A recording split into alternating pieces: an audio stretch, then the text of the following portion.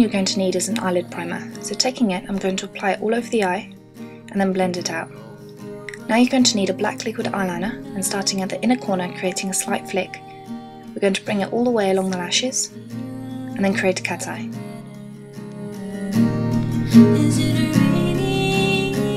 Taking some black eyeliner, I'm going to apply this on the lower lid, keeping it as close to the eyelashes as possible. Now with a medium angled shading brush, I'm going to take a pearlescent beige and I'm going to apply this on the inner corner, bringing it all the way up to the eyebrow. Taking the same brush, I'm going to be using the e.l.f Eye Transformer and take the blue shade. Apply this where you previously applied the eyeshadow beforehand, but this time you're going to bring it all the way to the middle of the eyelid. Once you've done this, we're going to be using a dark blue from the 120 Pro palette. And making sure you get a good amount on the brush, we're going to start at the outer corner and bring it into the middle of the eye. Stop midway.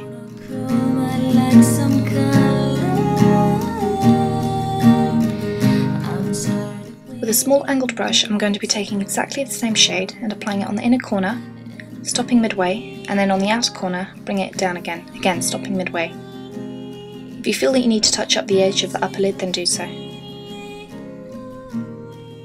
Now I'm going to be taking a pencil brush and taking a black from the 120 Pro palette, I'm going to place this over the blue to intensify the look.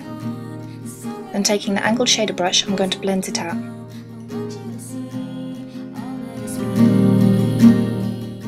Next with a pearlescent light blue, I'm going to take this and with the angled shading brush, I'm going to place this all in the inner corner of the eye, bringing it up to the eyebrow.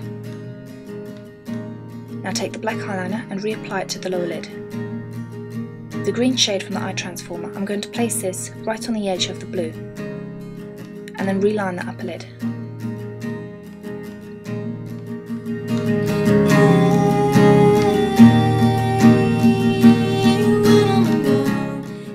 Next with your favourite mascara, apply thin coat on the lower lashes.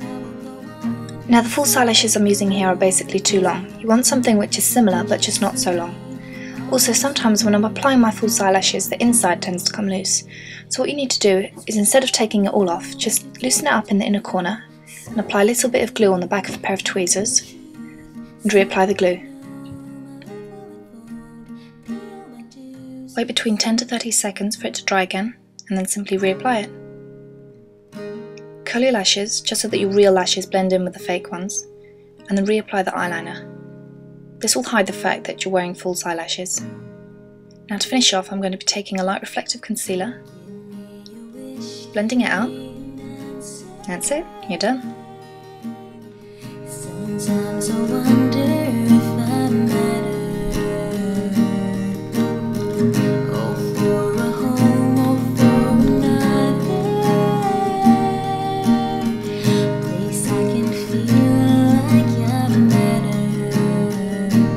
Is it